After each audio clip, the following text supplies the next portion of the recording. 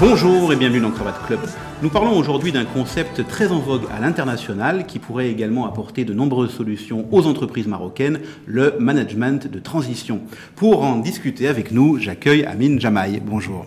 Bonjour. Vous êtes directeur général de Valoris Conseil. Euh, le, le management de transition, on en parle de plus en plus au Maroc, mais est-ce qu'on pourrait commencer un petit peu par, par le définir? Alors, management de transition, ça consiste à confier provisoirement euh, les rênes d'une entreprise, d'une filiale, ou d'une direction ou d'un département à un dirigeant opérationnel externe euh, sur un laps de temps assez court et euh, pour amorcer ou accompagner une phase de changement dans l'entreprise. Qu- Quand vous dites une, période assez courte, c'est quoi? C'est quelques mois, quelques années? Alors habituellement, c'est, euh, on, est dans, entre 6 et 24 mois. Très bien, mais alors qui, qui est-ce qui fait des, des recrutements de, de managers euh, au- aussi courts? Les PME, Mhm.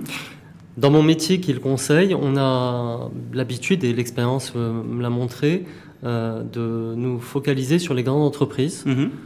parce qu'elles ont dans leur euh, management assez de cadres qui sont capables et qui ont le temps de récupérer les recommandations des consultants pour les implémenter dans l'entreprise, Mhm. chose qui ne se fait pas dans les PME parce qu'on n'a pas une pléthore d'équipes. D'une part. D'autre part, euh, il y a le coût. Chez les PME, on a une contrainte de, de ne pas exposer le budget, et, euh, et je le comprends, qui fait que, d'une part, on ne peut pas recruter des euh, managers expérimentés qui ont des, de véritables success stories et qui, sont, qui ont une expertise métier et sectorielle, Mhm. euh, qui coûte cher, et qui ne sont pas attirés par les PME. Donc si je comprends bien, ça permet aux PME d'avoir des, des très bons profils, sans que ce soit des consultants euh, très coûteux, hein, parce que c'est c'est parfois le cas, et euh, sans que ce soit non plus un recrutement à long terme qu'elles ne pourraient pas se permettre, ces PME. Oui. Euh, culturellement, euh, les patrons de PME, alors je mets, je mets pas tout le monde dans le même euh, tiroir avec des étiquettes, mais euh, ils valorisent souvent un achat qui est tangible. Mhm. Le conseil est intangible pour eux. En rémunérant un salarié, alors qu'on soit bien d'accord, qu'ils n'auraient jamais pu attirer dans leur entreprise, Et oui. qu'ils ne pouvaient pas retenir et motiver, Mhm. euh, de- sur le long terme, ils se retrouvent à pouvoir justement être attractifs pour de vrais spécialistes qui ont euh, eu, euh, qui ont une véritable valeur ajoutée à leur apporter et qui les rassurent dans le sens où ils sont là pour re- retrousser leurs manches et mettre leurs mains dans le cambouis de l'entreprise et pour faire en sorte que les choses puissent réellement avancer dans la période de changement en question. Mais alors du coup, est-ce que c'est pas un peu déstabilisant pour l'entreprise d'avoir un, un manager dont on sait qu'il va rester que, que quelques mois? Moi, je pense que c'est plutôt le contraire qui, euh, qui arrive. Quand on a un patron qui vient pour longtemps, euh, on a, quoi qu'on dise, une certaine susceptibilité qui, euh, qui existe, Mhm. euh, de par les N-1, qui se disent bah, finalement, euh, pourquoi c'est pas moi Oui, ça aurait pu être moi. ouais. Pourquoi c'est pas lui. Et dans le cas de figure où ils reçoivent un manager de transition, ils savent que c'est pour du court terme.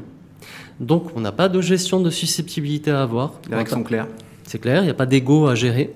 Non seulement ça, mais le manager de transition a le droit d'avoir les coups des franches. Mhm. Il peut jouer les aiguillons, euh, quitte à être un, un peu plus, euh, y aller un peu plus à la hussarde, parce qu'il sait que de toute façon, ses équipes savent qu'il est là pour implémenter et non pas pour prendre le lead et le commandement. Il n'est pas là pour, pour phagocyter l'entreprise, puisqu'il s'en va. Donc à partir de là, euh, les choses sont claires. Non seulement ça, mais il y a quelque chose qui est excellent et qui s'opère aussi, c'est que les N-1 euh, surperforment pendant ces périodes-là. Et, et quels sont les moments dans la, dans la vie d'une PME qui, qui se prêtent bien à cette démarche finalement? Alors il y a trois cas de figure qui me viennent à l'esprit. Mhm.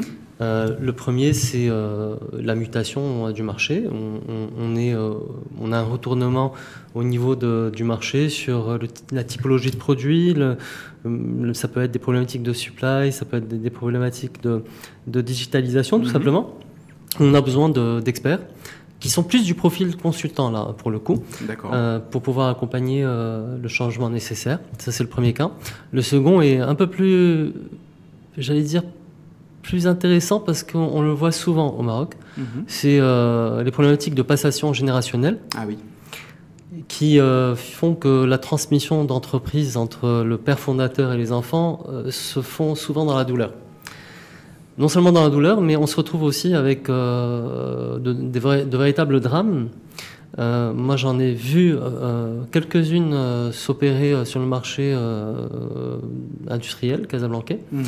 où soit on se retrouve avec des enfants qui sont un peu dépassés par, qui n'ont qui ont pas encore eu le temps de reprendre en main l'entreprise et qui n'ont pas encore cette légitimité, ce charisme nécessaire euh, par rapport aux, aux équipes en place. D'accord. Euh, là, pour le coup, ramener un manager de transition pour prendre le lead de l'entreprise, le temps de- d'expliquer, de, placer et, et d'accompagner euh, les, euh, bah, les héritiers euh, dans, dans la passation, c'est intéressant. Le troisième euh, cas de figure que je vois, c'est les sessions. Mhm.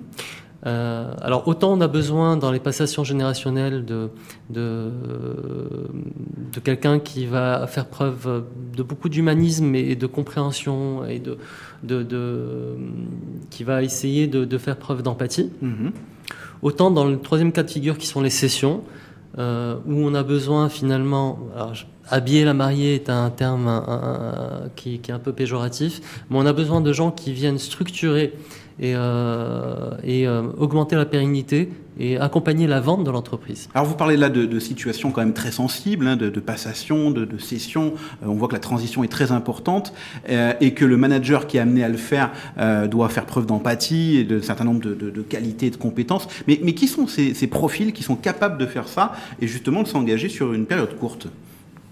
Alors, ces, pro- ces profils, euh, tout dépend effectivement de, de, ce- de là où on veut les placer et dans quel type de problématique. Mhm.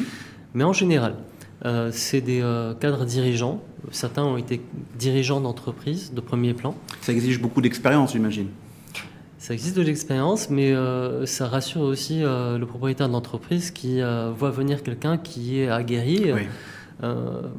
Alors, on n'a pas de recul au Maroc parce que c'est euh, le management de transition euh, est, est en train de démarrer. On est Mhm. vraiment en phase de démarrage sur des pays euh, qui, euh, qui l'utilisent euh, depuis plusieurs dizaines d'années. Il n'est pas du tout, je veux dire, incohérent de voir un ancien patron du CAC 40 être Mhm. manager de transition dans une grosse PME. C'est-à-dire que c'est- des jeunes retraités qui ont encore beaucoup à, à partager, qui ont énormément d'expérience et qui vont pouvoir justement être intéressés par ces petites missions, enfin ces petites, ces courtes missions euh, dans des univers qu'ils connaissent bien. Alors dit comme ça Thomas, on a l'impression que c'est le c'est celui qui en dilettante qui va venir euh, prendre Mm. des jobs. Moi je pense que c'est euh, bien au contraire. On s'adresse à une enfin on, on- on- on a en face de nous des managers de transition qui ont un ego qui est à la limite euh, surdimensionné qui veulent et qui savent exactement, euh, qui veulent finalement laisser une empreinte forte dans l'entreprise où ils vont intervenir, qui ont envie de, dé- de, de, de- de prouver par A plus B que grâce à eux, on est arrivé à un chiffre exceptionnel et que les objectifs ont été atteints. Ils ne veulent pas s'ennuyer, donc euh, d'où euh, l'utilisation de contrats sur des courtes durées. Mhm. Euh, c'est pas des gestionnaires en bon père de famille, non, c'est des, c'est des, euh, des vrais patrons qui veulent, qui, et qui, et qui savent, quand on regarde le marché marocain, qui savent qu'il y a tellement à faire euh, dans tellement d'entreprises que c'est un vrai terrain de jeu. Merci beaucoup Amine Jamaï pour ces précisions sur le management de transition, une solution qui peut intéresser beaucoup d'entreprises au Maroc, notamment les PME. À très bientôt dans Cravate Club.